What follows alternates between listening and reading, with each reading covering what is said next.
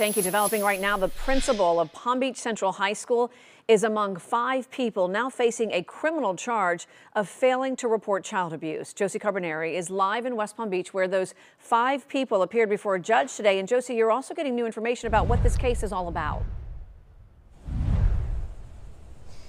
Yeah, each person was told they are to have no contact with the alleged victim or witnesses in this case, and administrators can't speak to each other about the case either. They each face failure to report suspected child abuse, a third degree felony in the state of Florida, punishable by up to five years in prison. Making their first appearance in front of a Palm Beach County judge today, Darren Edgecombe, the principal at Palm Beach Central High School, granted a $10,000 bond. Priscilla Carter, a former behavioral therapist at the school, also granted a $10,000 bond. Scott Hutchins, a course director, given a $3,000 bond, and two assistant principals, Narita Garcia and Daniel Snyder, both given a $3,000 bond. Investigators with the Palm Beach County Sheriff's Office say they found two separate failure to report incidents dating back to 2021, where school employees didn't report allegations that a 15 year old female student was sexually assaulted by another male student.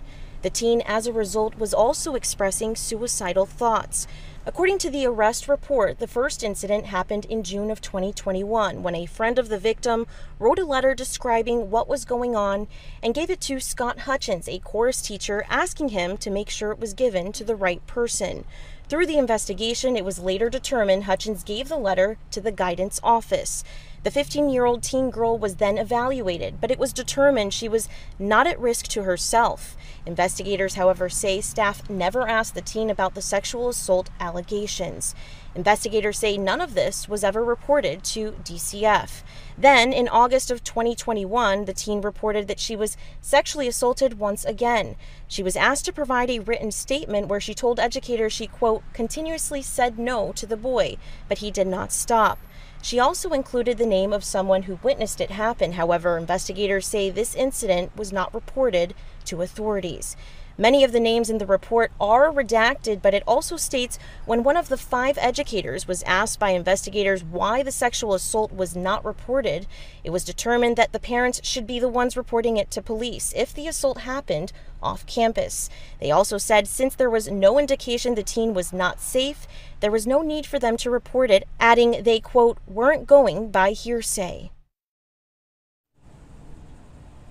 And all five individuals will have to meet with a judge in the coming weeks. Reporting live, I'm Josie Carbonari, WPBF 25 News. Josie, thank you. The Palm Beach County School District just releasing a statement this afternoon, which reads in part, we can confirm that these employees have been reassigned to positions that do not have student contact. The allegations involving students occurred off school property and over a weekend. However, no matter when or where any alleged assault against a student occurs, our policy aligns with the law, which requires all personnel to report suspected abuse.